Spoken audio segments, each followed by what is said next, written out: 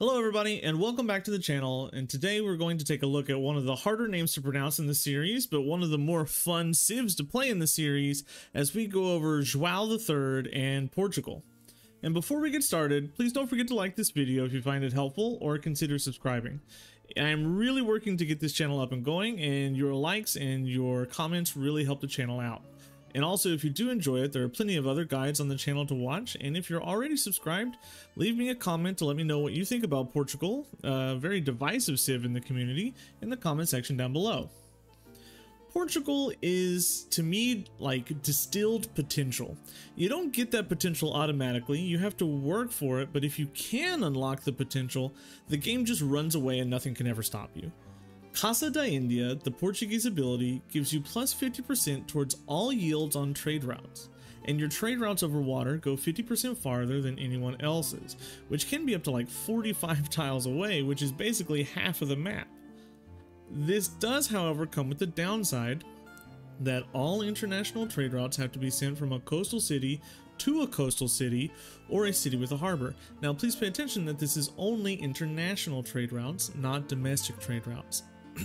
I have seen the discourse online saying that this is a bit too restrictive, but I disagree. Yes, if you're playing on Pangea, you're going to get much less out of this ability, and yes, if you're playing on Archipelago, you're going to get much more from this ability, but you'll be able to use this in almost every single game to at least some degree.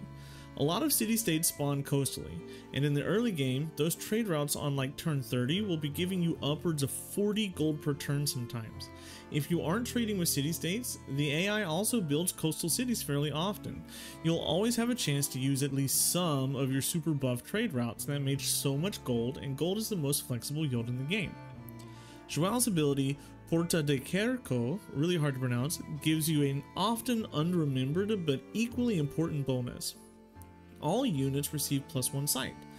And this is kind of busted. You can see your barbs from 4 tiles away with a settler, and they can only move 2 tiles at a time, so you can move your settler before they can even be reached. You're also going to find natural wonders faster, you're going to get first meets with city-states more often, giving you free yields in your capital. You'll also find tribal huts easier, and you fog bust like nobody else, meaning that barbarians aren't really a big problem for Portugal.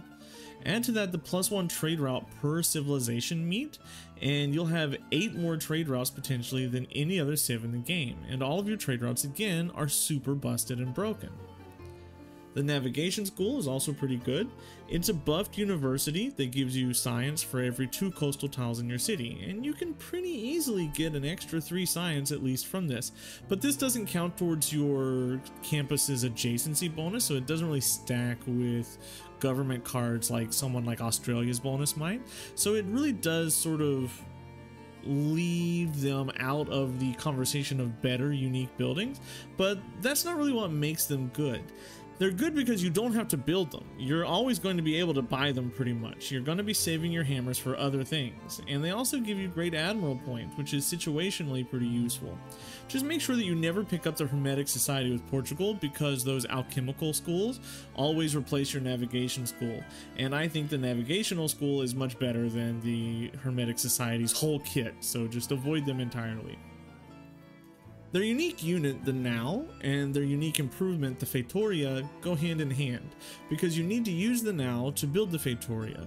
The Nao is a Caravel replacement with a free promotion, and Feitorias are improvements that provide Portugal with plus one production and plus four gold on a trade route, and those also, I believe, get boosted with your ability. But they have to be built in cities that you do not own. So you have to put them in other civilizations, and it's the only improvement that does this. They have to be placed on the coast and can't be stacked adjacent to each other, and they must be built next to a luxury or bonus resource. Now this is useful, and it does buff up your already buffed trade routes, but I find this bonus to be really forgettable, and I only ever build them for the era score. João is one of my favorite civs to play as, because I like high gold games. You need to play a safe early game, and you need to be scouting heavily to find civs and get your trade routes. I do find, however, that it's really easy to get a golden age with Portugal early. Your scouts have such good vision, and you'll get early meets really often, and trade routes really often, and you're going to get astrology boosted, helping you get your faith going pretty easily.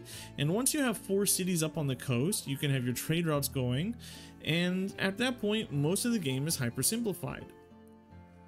You will be making so much gold that you can do anything you want. But you have to remember to keep expanding to get even more trade routes. Not all cities need to be built coastally. Those cities that can be built coastally should be building harbors and lighthouses to get the extra trade routes.